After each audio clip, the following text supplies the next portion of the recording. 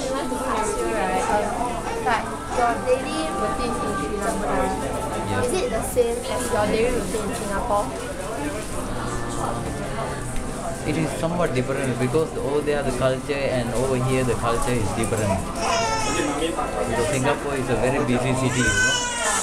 So Singaporean have no much time, uh, especially the weekdays. But over there in Sri Lanka, our village life is villages are not that easy. So therefore, all the monks in Sri Lanka, their food is supplied by the devotees. Okay, that is the thing. But of course, we have to wake up early in the morning. Then we have the monastic duties. Then the monastic duties are over. Then we have to attend the devotees. Then we are um, uh, the temple duties we free at that time. You know. But over here is uh, somewhat different. Over here, um, our duties are different from Lanka. But of course, as monk, we also have to wake up in the morning and we have to do the monastic duties. So after that, then we can prepare our lessons and all this. You know, this is where our, our time over here we spend. You know. Yeah.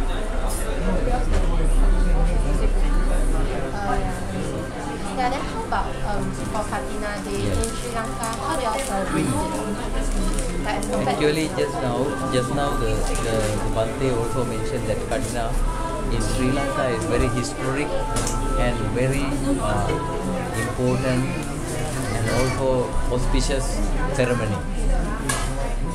Over there, the people do this way. In the temple, where the monks observe the Vasana retreat, the devotees gather, they organize most of the temple overnight chanting.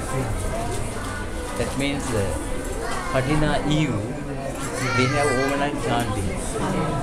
So the monks, maybe either 12 monks or more, the monks come to the temple. Then the early in the morning, about 4 o'clock, they start the Katina ceremony. Katina robe offering procession. So starting from one house, one of the member who is the main sponsor for Katina celebration. So the the cloth for the robe is kept over there in the house, main sponsor's house. So the many people go there. Then that is the big procession. Comes like have dancing, have drums play, and also have that activities. Then they go around in the village. Before six o'clock, they come to the temple with the cloth. That is raw material, you know. So after that, early in the morning, that the monks are chanting. So at that time, they offer the cloth. They request, Bante, we want to uh, offer a Katina robe. So the cloth is here, all the thread, everything is here. The Bante can help us to sew the robe according to the Vinaya rules. So the accept it. So then they say that mm, those Bante who are participating in the, the preparing of the robe to be a complete one for the Katina offering, we will supply the food and other necessities for the Bantes. So the Bantes get together and do the sewing. Of course, not same like olden days. Now we have machines, you know. So those qualified Bantes within three hours can complete the rope. They have to cut the clothes. Then after that they have to draw the lines. Then they have to sew. Then after that put together and frame like these ropes, you know. That you see this one is something, this one five pieces over here. At least we have to join five pieces. At least. It can be more than cannot be less. That is the the Buddha's uh, setting up the way, you know. So the Buddha set up the rule because if the cloth is bigger, sometimes this cloth people can use. But the smaller pieces, no use for them. Not same like in the nowadays. Nowadays the clothes are very easily available. You can buy from the market. But those olden days in India, very difficult to find the clothes. So devotees, therefore, when you volunteers, into pieces, Dhamma no scooters, work. Dhamma scooters. people don't want to. Attention, Dhamma hookers. So that was the purpose. We are going to take in the Sri Lanka also actually, uh, when we are young, hookers, those working offering of. Katina rope was a very difficult thing very rare thing, very me, look at me. auspicious. and to get the clothes and rope also was not easy.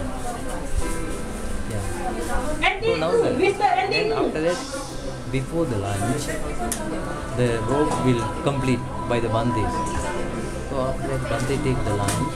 Then the the the, the rope, the just completed the sewing, will hand over to the people, the devotees.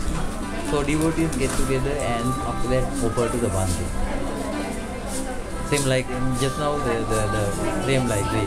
After offering, then that is belongs to Bante and that is the Katina offering. Then we also have later we have to go through some Vinaya rules. That over here have six Bantes. Of course the Bante who observe the Vasan retreat, then we have to get that Bante to use the rope. If few Bantes, among the few Bantes you have to choose one Bante.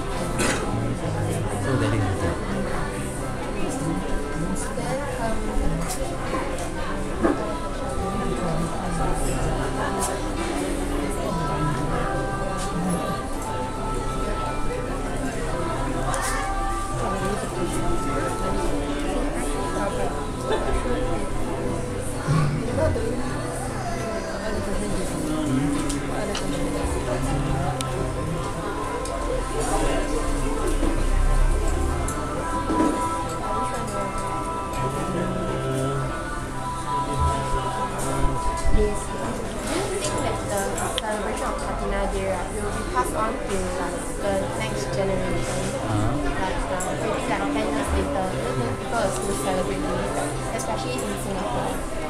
Of course, the, because the people they are very devoted and they are confident on the Buddhism is becoming stronger. this is this is not just blindly do. I, when I consider my 20 years Katina celebration, after 20 years I find that they are confident and the encouragement is more and more because with the understanding they put more effort. So this is this is not just blindly follow. They feel happy. Bante is also happy. Devotee is also happy.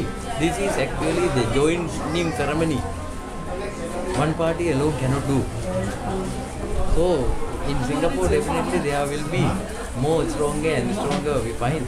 Of course uh, some other places hmm, they celebrate hmm, uh, better than this we can say. It is not the ceremony or it is not the way. May many people and more space, then more people can uh, participate and all these.